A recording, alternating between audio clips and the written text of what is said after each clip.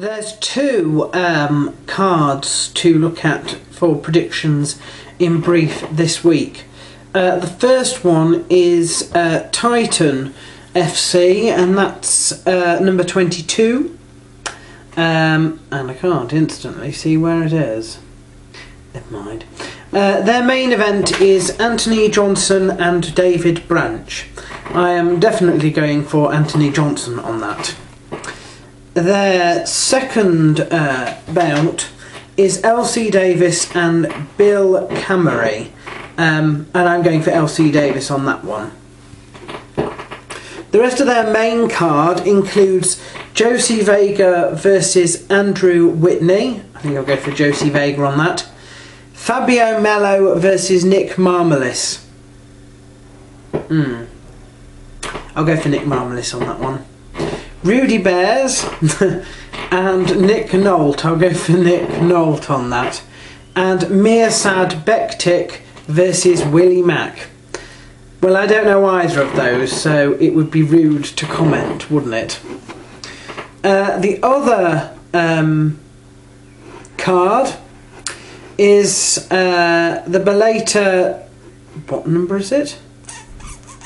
70.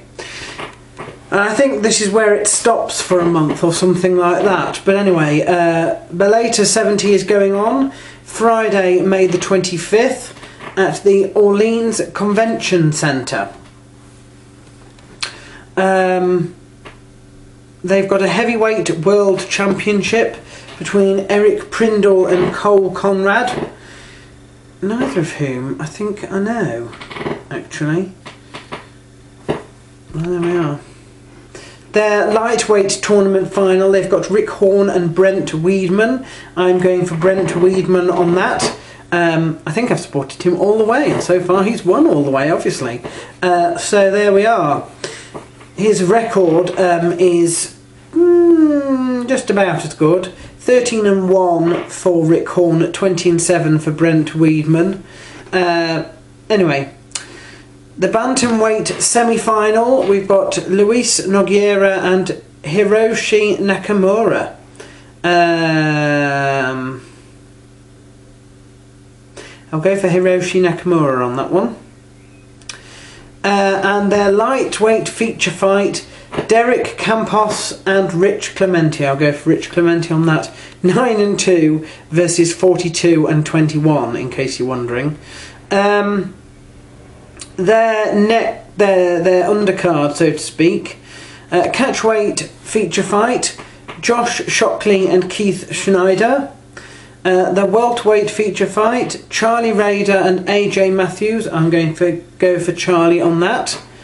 A middleweight feature fight: Jonas Billstein and Mike Seal. A lightweight feature fight: Kyle Bradley and John Harris. Don't know if I know those or not. At bantamweight feature fight, Blake Durfor and Derek Arsment. And their middleweight feature fight, Jeremiah Riggs, well, well, well, uh, and Kelvin Tiller. I'm, I'm going to go for Jeremiah Riggs on this one, even though he's got a record of 7 and 6. Didn't realise it was quite as uh, tight as that one. Uh, and Kelvin has a perfect record of 3. I'm hoping that experience uh, will um, will break through there. And that is predictions in brief for this week.